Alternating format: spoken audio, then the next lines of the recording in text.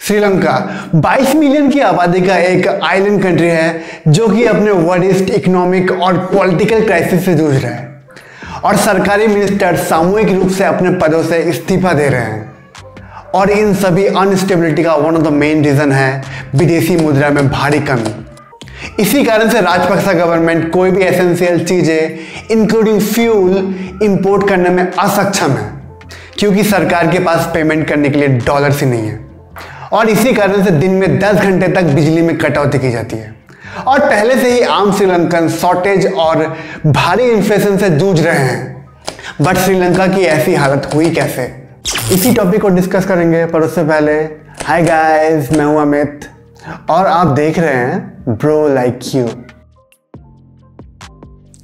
श्रीलंका भी भारत की तरफ़ ब्रिटिश एम्पायर का पार्ट था। और 1948 में इसे आज़ादी मिलती है। लेकिन आज़ादी के समय श्रीलंका की इकोनॉमिक सिचुएशन बहुत ही अच्छी थी।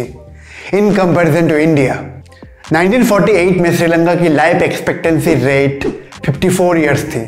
On the other hand India की बस 32 इयर्स इन्फेंट मोर्टालिटी रेट 82 पर थाउज़ेंड चाइल्ड थी 1950s में।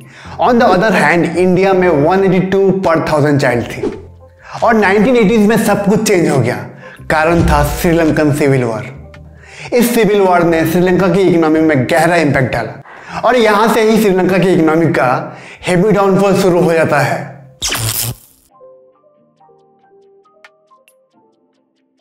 एक्सपर्ट्स का कहना है कि इस इकोनॉमिक क्राइसिस को इस पोजीशन तक पहुँचने में कई साल लगे हैं, जो कि थोड़ी बैड लक और बहुत सारे गवर्नमेंट मिसमैनेजमेंट के कारण हुआ है।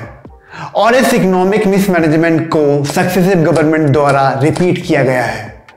जो कि अल्टीमेटली एक ट्विन डेफिसिट इकोनॉमी को जन्म देता है। 2019 में एशियन डेवलपमेंट बैंक के एक रिपोर्ट के अनुसार श्रीलंका ट्विन डेफिसिट इकोनॉमी का एक परफेक्ट एग्जांपल है।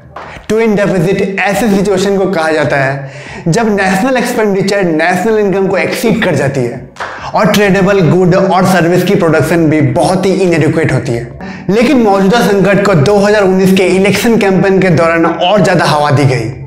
जब राजपक्सा ने टैक्स में भारी कटौती करने का वादा किया और इस टैक्स रिफॉर्म को कोविड 19 पैंडेमिक शुरू होने के एक महीने पहले लागू कर दिया गया but the move totally misfire और इस फैसले ने श्रीलंकन इकोनॉमी के कुछ पार्ट को टोटली वाइप आउट कर दिया। और साथ ही में श्रीलंकन टूरिज़्म इंडस्ट्री और फॉरेन रेमिटेंसेस बैडली अफेक्टेड हुए बिकॉज़ ऑफ़ द पेंडेमिक और क्रेडिट रेटिंग एजेंसीज ने भी श्रीलंका को डाउनग्रेड कर दिया।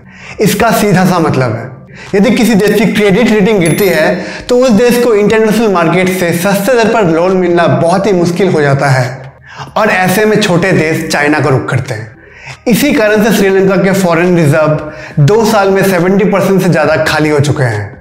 और 2021 में गवर्नमेंट द्वारा केमिकल फर्टिलाइज़र को बैन करने का फैसला, जो कि बाद में रिवर्स कर दिया गया, देश के फ़ार्मिंग सेक्टर को बैडली अफेक्ट किया।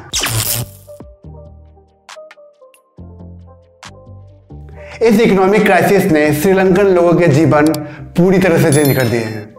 अब उनके जीवन ऐसे पोजीशन में है, जहाँ उन्हें घंटों लाइन में लगे रहने होते हैं, रोज़मर्रा के जीवन की वस्तुएँ और राशन प्राप्त करने के लिए। और रिसेंट वीक में तो दुकानों को जबरन बंद करना पड़ा, क्योंकि उनके पास रेफ्रिजरेटर एयर कंडीशनर और फ़ैन चलाने के लिए इलेक्ट्रिसिटी नहीं है। और यहाँ तक कि सोल्जर डिप्लॉय करना पड़ गया गैस स्टेशनों में, ताकि पब्लिक ऑर्डर मेंटेन किया जा सके। ऑन द अदर हैंड लोग अपने टैंकों को भरने के लिए इस भीषण गर्मी में लंबे लंबे लाइनों में खड़े रहते हैं। और इन्फ्लेशन के कारण सभी चीज़ों के दाम आसमान छू रहे हैं, जिससे आम आदमी की जीवन मिजरेबल बन गई है।